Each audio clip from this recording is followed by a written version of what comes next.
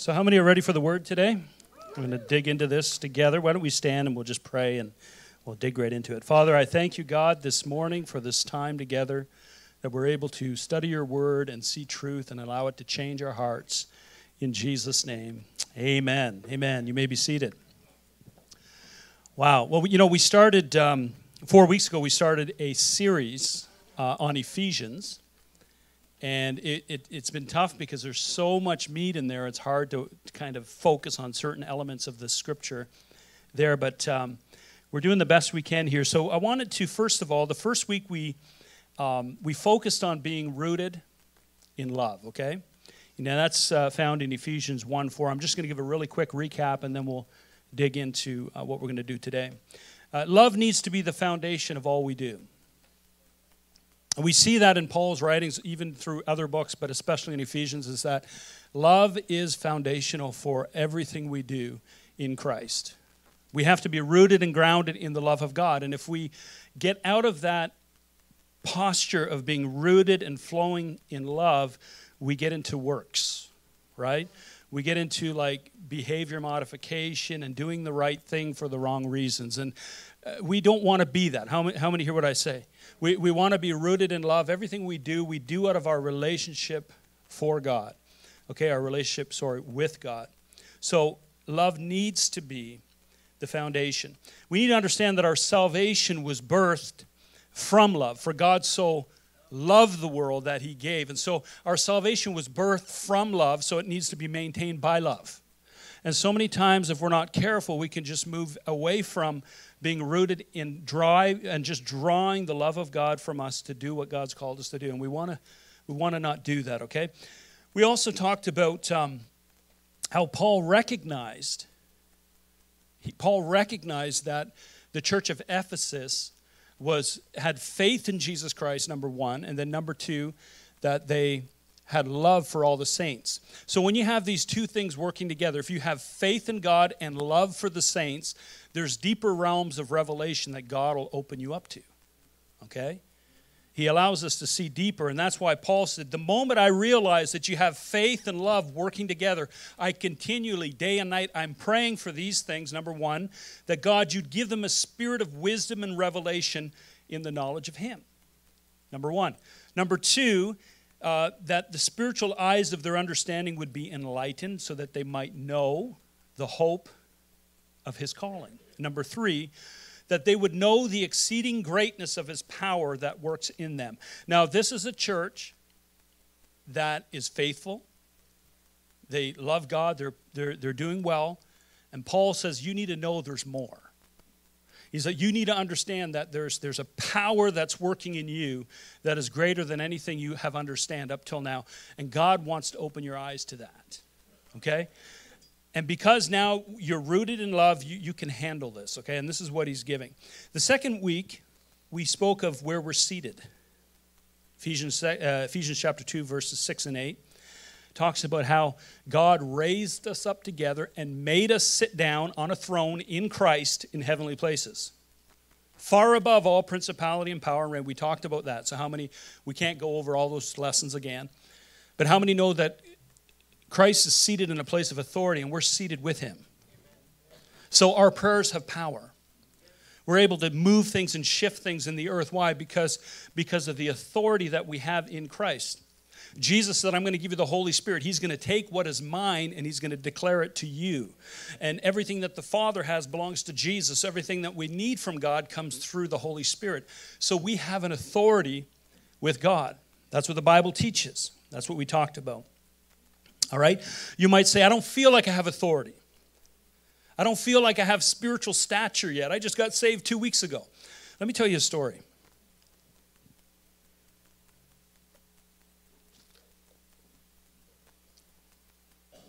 I was about 19, and I was coming, I think I was coming back from Canada's Wonderland. Had some friends in the car with me. And it was a newer, to me, a newer car. It was a Z24 sport, sports car. It was my, you know, it was my car my dream car at the time. I'm coming back from, I'm on the highway, and I'm driving down the highway, and I could see there's this big overpass that has a slight, a slight bend, and it turns and it goes up and over. And my friend says to me, uh, How fast will this car go? I said, I don't know. I never, like, where does it top out? I said, I have no idea. And I said, maybe I should try. Said, there's not a lot of cars. And, you know, I don't see any police officers. So all of a sudden I start revving out the gears and I'm doing about a 180, 190. Like, this is bad. Don't anybody do this. This is bad. Because there's no one around, I figure it's safe, right? So, yes, I come over the top of this slight hill, and as I'm coming over, there's a cop sitting there with a radar gun. I'm doing 180. I went by that cop so fast. I looked in my rearview mirror and I could see the cop's car disappearing, and, and I realized my friends are like, "You can get off on this next exit, like right here, zoom, you'll be gone, right?" But then I remember I used to watch Cops. I remember that show.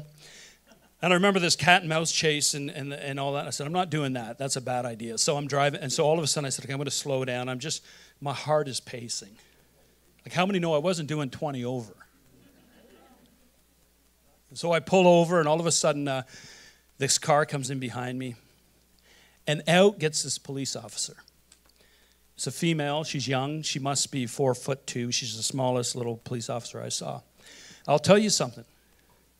It could have been Arnold Schwarzenegger. It doesn't matter if it was a small person or a big person, a male or a female.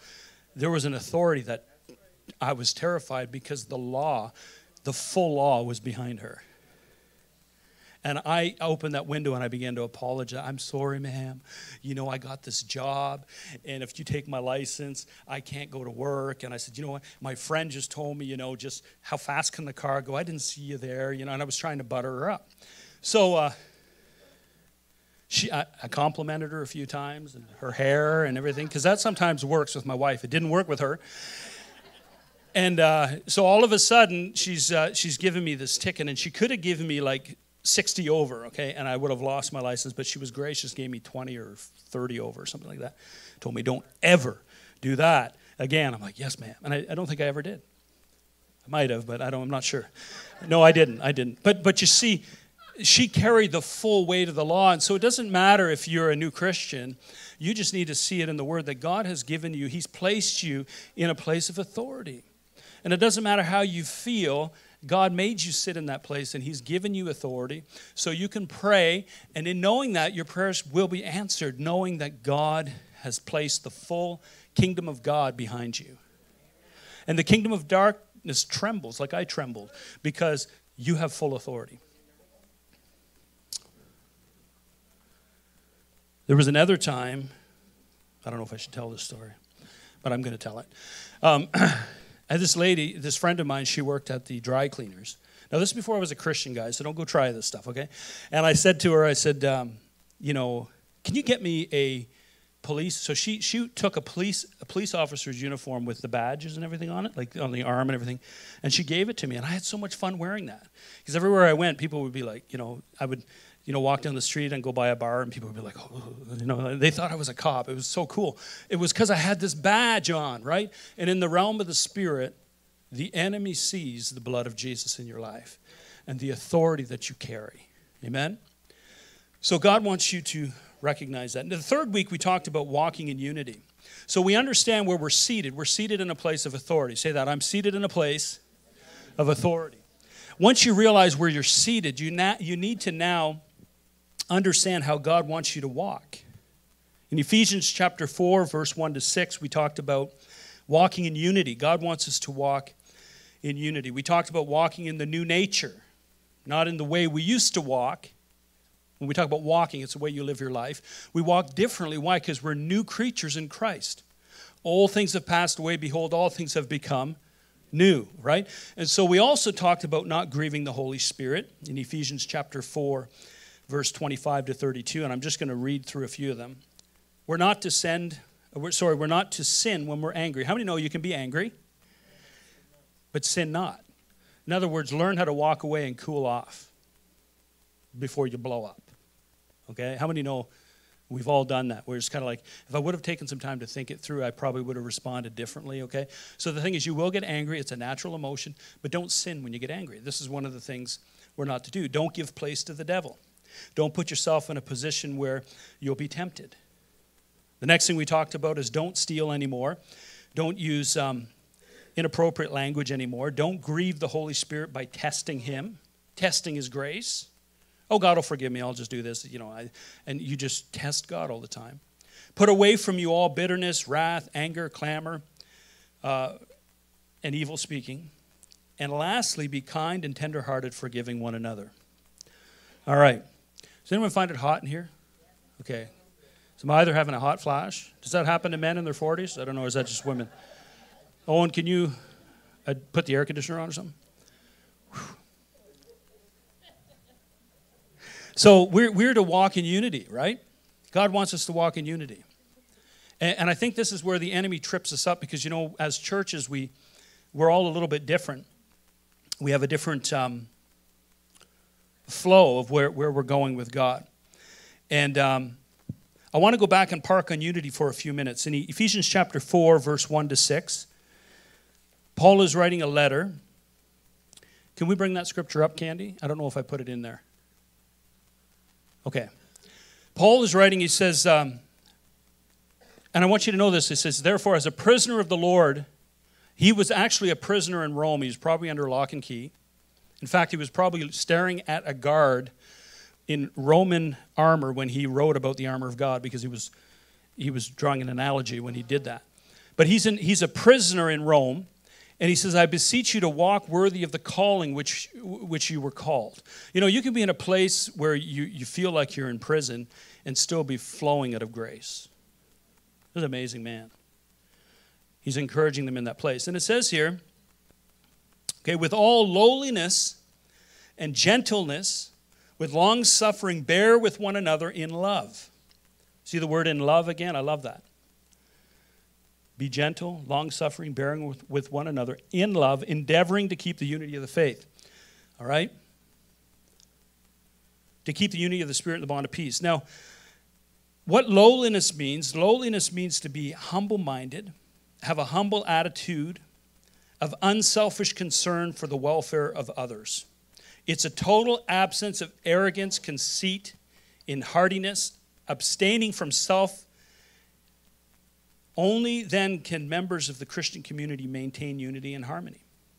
Gentleness means a disposition that is even tempered and tranquil, balanced in spirit.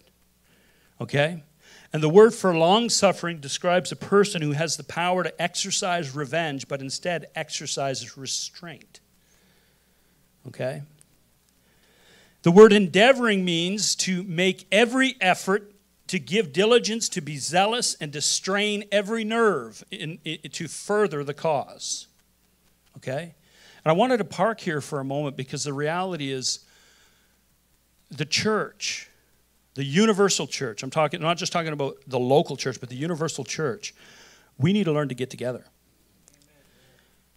We need to stand together on the truths that unite us, or we're going to fall apart on the beliefs that divide us. What do we believe? We believe what the scripture says that we're to walk in unity. We believe that we are, um, we believe in one body, one Lord, one baptism, one Father, right, right here, who is in all and above all and through all and in you all. And so the church needs to learn to stand together on the things that we unite on. Amen? And many times we don't. We could be a force to be reckoned with if we'd learn to do that. Ephesians chapter 5, verse 8. We're going to go to Ephesians chapter 5.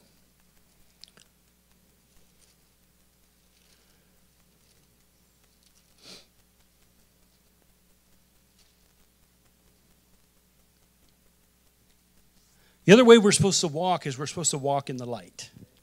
We're to walk in the light. And here, here it is in verse, uh, verse 8 For you were once darkness, but now you're light in the Lord.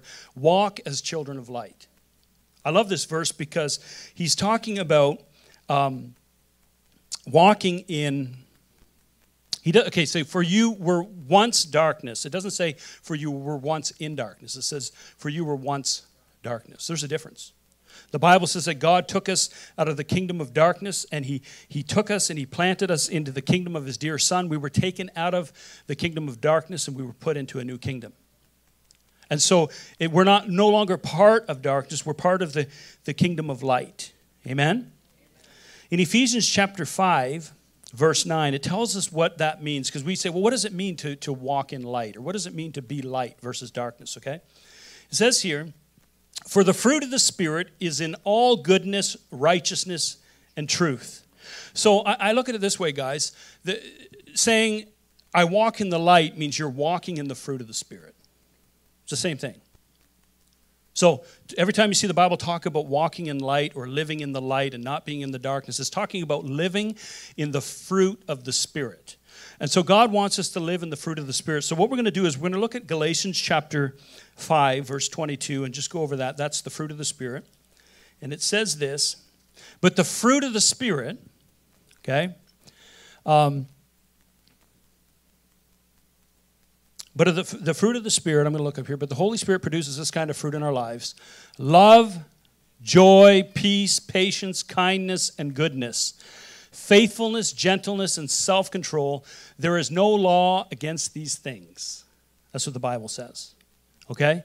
And so to walk in the light means that you're walking in the fruit of the Spirit. Okay? Verse 24 says, Those who belong to Christ, Jesus, have nailed their passions and desires of the sinful nature to the cross, and they've crucified them there. Since we are living, since we are living by the Spirit, let us also follow the Spirit's leading in every part of our lives. Let us not become conceited or provoke one another or be jealous of one another. So we're, we're to walk in the Spirit and we're to produce the fruit of the Spirit, which is love and joy and peace and kindness. That's the fruit that comes out of being planted and rooted in love. There's a tenderness, there's a gentleness, there's, there's all this stuff that begins to naturally uh, produce fruit. A tree doesn't sit there and go, and then pop, an apple comes out. No, there's no, there's no, there's no pressure there. There's no pressure to perform. Christians are so busy trying to, to, to produce fruit. You don't produce fruit by trying harder, you produce fruit by being rooted in love. Being, being grounded in God, the fruit will naturally begin to come out of your life. The fruit will naturally begin to produce in your life. Why? Because you're rooted and grounded in love with Jesus Christ. Amen? And so there's a new kind of person walking on the earth. The Bible says that we're new creatures in Christ. Before Jesus rose from the dead, there was animals and there was uh, there was human spirits, but now there's a new kind of creature. It's it's a person who's been born of the Spirit. You have a human spirit with the Holy Spirit living with you. That's a new kind of creature. That's who we are. And the goal of every follower of Jesus is to walk in both the power and the character of the kingdom. God made his power and authority available to create a different kind of lifestyle in the believer, one that attracts others by light instead of darkness. I, I, want, I want you guys to get this. I'm going to give you an example. I'll use my own life, for example. Okay? One of the things that really changed in me was the music I listened to. Okay? I used to listen to heavy metal, a lot of heavy metal and stuff before I was saved. Now I still like heavy metal if it's if it's Christian if it's coming from a Christian spirit. But the problem was um, after I gave my heart to Christ, as I was listening to some of the old bands I used to listen to, it felt like darkness to me. Okay, it felt like you know when I listen to worship UCB or I listen to worship CDs or I listen to um, Christian music, it's, it's like I feel like I can connect. It's like I feel like it, feels like it's, it's like goodness and kindness and peace. And, and, and even though the person singing the music might not be perfect, they're still pilgrims in progress, but they have something in them. It's called the light of Christ. And I can connect and I can relate to that. But now when I listen to not all secular music, because I'm not here to say secular is sinful and Christian music is righteous. I'm here to say that it's not an issue of this is wrong, this is sinful and this is right. It's an issue of this is darkness and this is light. And I can't, so naturally I couldn't listen to the music anymore because it would bring me down. It would make me feel dirty. Amen? So I'm full of light. And so when I, when I hear someone singing, I can relate to that because it's connecting with my spirit, because my spirit is light. I'm no longer darkness, I'm now light. So I can relate to light. So now I listen to some of this music and it makes me feel dark. It reminds me of who I used to be. Anyone hear what I'm saying? And it doesn't produce righteousness, it produces. So it's not an issue of this is wrong and this is right. It's an issue of this is darkness and this is light. And so the light of God's presence is in me. So now it's no longer that I, I don't have to strive. It's not that I can't do that because it's sinful. I can't do that because the Bible says it's wrong. It's, I don't want to do that because it's darkness and I'm in the kingdom of light. Does anyone hear what I'm saying this morning? Now, I'm using music as an example, and I'm not saying that there's, there's some secular music that I'll listen to because it doesn't, it's not full of darkness. But I'm saying, for the most part, do you get the picture I'm saying? I can't watch some of the movies I used to watch because I feel it's dark. And when it hits my spirit, my spirit feels like, ooh, that's, I don't, I don't want that in my life. So that Nate, that desire and that need to be controlled by sin is no longer there because I have light in my heart. Now I want to do what's right because I'm full of light instead of darkness. So that's just a little example. Another example is, um, you know, I used to be able to gossip like the best of them. And I'd be at work, right? And somebody would start talking about the boss or another employee. I mean, I'd get right in there and I'd be like, yeah, yeah, yeah. You know, it kind of feels good because, you know, we're imperfect, so it feels good to talk about other, other people's flaws, right? Makes us feel better about ourselves. But now that as a Christian now, I got saved, I'm going and I'm sitting with the same group of guys. And it's awkward because they'd be like saying all these nasty things behind somebody's back. And I'd be, I'd be like, yeah, but let's think about the positive here. You know, so and so also does good in this area. And it's kind of like they look at me like, you're weird, man. And they began to persecute me because the light in me was offending the darkness in them. And that's the issue. See, as, as children, children of light, we're going to offend people who have darkness in them. Right? Can I, can I talk to you for a second? and here, here's what for God so loved the world that he gave his only begotten Son, that whosoever believes in him should not perish but have everlasting life. Jesus said, I didn't come to condemn the world, but that the world might be saved. But this is the condemnation that light has come into the darkness, and people love darkness rather than light because their deeds are evil, and they don't want their deeds to be exposed, so they reject the light. And so we have churches now that want to um, say, well, listen, our church service is like a floodlight, and it's freaking out people who don't know God. So let's turn it down and put a nightlight on. We won't preach the word too strong. We won't talk. We'll just touch on these certain things, and you know, we won't we won't shout and lift our hands and worship God because we it's too bright for people. You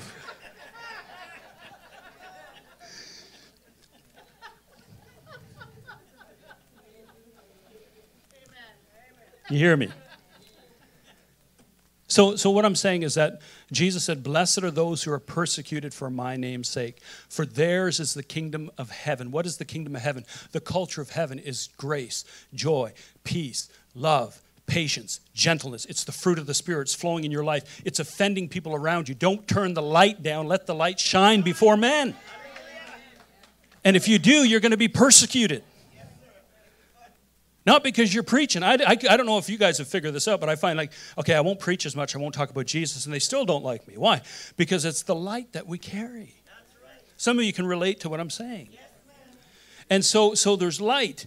And so there's certain movies I don't listen to anymore or watch and certain music I can't certain people I just can't hang out with anymore because it's, it's negative. It's like dark, dark, dark. And I just want to be around the light. And you might say, Pastor, I'm Christian and I can watch whatever and listen to whatever, and it doesn't bother me. Well, let's see what Jesus says about that. Go to Luke chapter 11, verse 35. Luke 11, verse 35. We'll bring it up. Make sure that the light you think you have is not actually darkness. Let that sink in.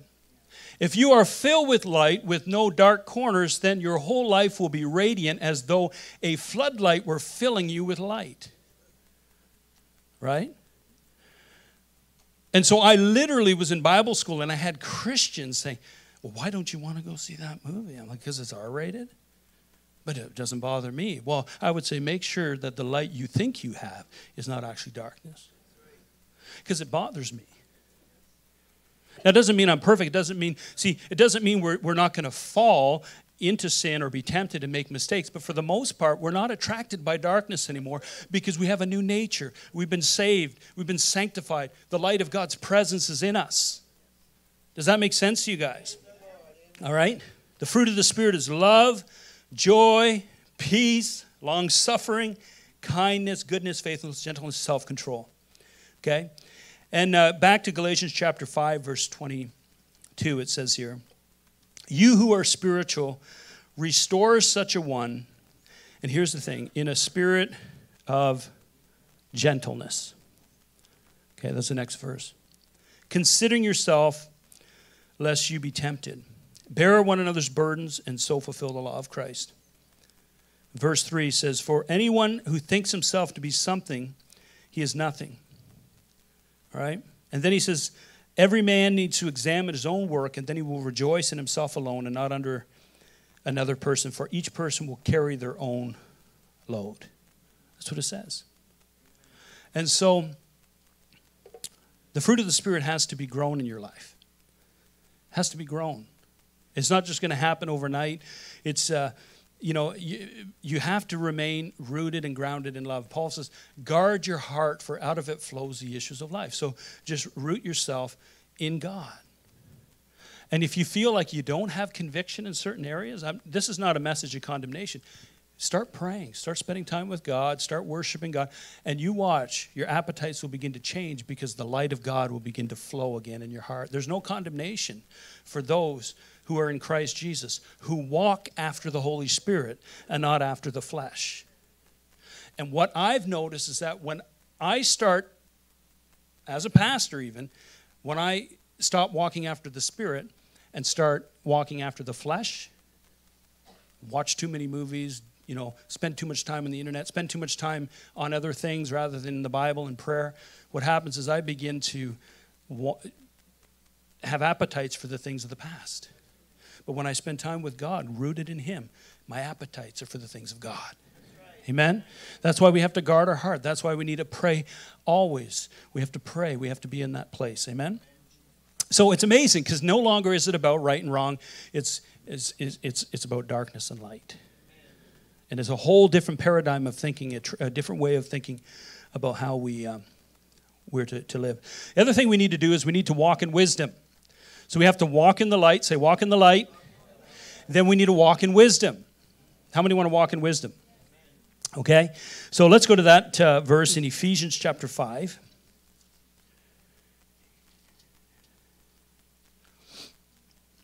And it is verse 15. It says, See that you do not walk circumspectly, not as fools. Sorry, see that you walk circumspectly, not, not as fools, but as wise, redeeming the time because the days are evil. You know, we need, we need to watch uh, where we're walking. so you can come to my backyard in Carrying Place. You don't have to watch where you're walking. You can do this. You can just walk around, no worries at all. Now, if you go to my childhood home, we had dogs. And back in those days, 30 years ago, we didn't follow dogs around with a little plastic bag picking up the doo doo. Do you understand what I'm saying? We had this issue where you look for the green patches in the yard. You know, you could see, well, there's a green patch, there's got to be some poo there. There's a green patch there, so you would just kind of know where to step. And once in a while, you'd get it anyway. You'd be like, oh man, you know? And so you always have to watch. You don't want to step in crap. You got to watch where you're walking. This is what Paul is saying. Watch where you're walking, look where you're taking your steps. I had a friend actually who got saved. He was a, he was a drug dealer. He a, had a potty mouth, like he swore terribly. And uh, one day, he's now a Christian, and he goes, "Ah, shapoopies," and that it was just hilarious. So for we would walk around going shapoopies. You know, that was like the new word to kind of. Anyway, you guys don't get it. But you got to watch where you're stepping, right? and you got to watch who you're hanging out with and what you're what you're listening to and what you're watching watch where you're stepping watch where you're going right don't be a fool be very careful where you go redeeming the time because the days are evil knowing what the will of the lord is how many know the holy spirit is talking to us constantly You know, I was living in Kingston and I was running a window and door company. And there was a neighbor next door and I didn't re- I knew his mother-in-law. She lived there and he was living there as well. And God began to speak to me. He says, "You need to take him out for a coffee and talk to him." And I was like, "I'm busy." Anyone ever argue with God or is it just me? Yes, Lord, I'll do it. But I, I kept putting it off. And I actually went and talked to him. Hey, would you like to get together for a coffee sometime? He said, Yeah, I'd really like to talk to you. And, okay, great. We'll make it happen. We'll make it happen. And then I got busy, and, and God kept putting this urgency on me to talk to the guy. And, and I kept putting it off. I kept putting it off. I kept putting it off because I was busy. And um, put it off. One day I came home from work and his mother-in-law was on the porch crying. I came in. I said, "What's what's going on?" She goes, "My son-in-law hung himself in a barn. Committed suicide." And she looked at me and she goes, "He wasn't baptized. He didn't know God." And you know, I had to walk through that. I had to walk through that. I had to deal with my own heart. So now, if I feel the Lord saying, "Talk to somebody," I'm like, "Yes, sir." If there's a if there's fear, and sometimes there is, because you know you you never know how people respond. You have to learn to be jumping hurdles in the spirit. There's a hurdle of fear, just jump over it, and once you jump over, it's not there anymore, and you just go in for the kill and share the gospel. Amen. And so that crushed me inside because God had spoken to me about that. And that's what Paul is saying here. He's saying, you know Watch where you walk. Redeem the time because the days are evil. Don't be unwise, but understand what the will of the Lord is. Okay? Uh, verse 17. Therefore, verse 18 do not be drunk with wine in which is dispensation, but be filled with the Holy Spirit. Proverbs chapter 20, verse 1. We'll bring that up. It says that wine is a, a, mar, a strong drink is a brawler. Whoever is led astray by it is not wise. All right? Proverbs chapter 23, verse 31 uh, to 35. Don't gaze at the wine, seeing how red it is, how it sparkles in the cup, how smoothly it goes down. For in the end, it bites like a poisonous snake, it stings like a viper. You will see hallucinations, you will uh, say crazy things, you will stagger like a sailor tossed at sea clinging to the swaying mask, and you will say, They hit me, but I didn't feel it. I didn't even know it when they beat me up. When will I wake up so I can look for another drink? And um, we should not be dependent on anything but God. If you're the type of person you come home from work and you have to have a glass of wine, it just I just need it to relax. You're dependent on something other than God. The Holy Spirit needs to be your peace. Right? You can't be dependent on anything but God.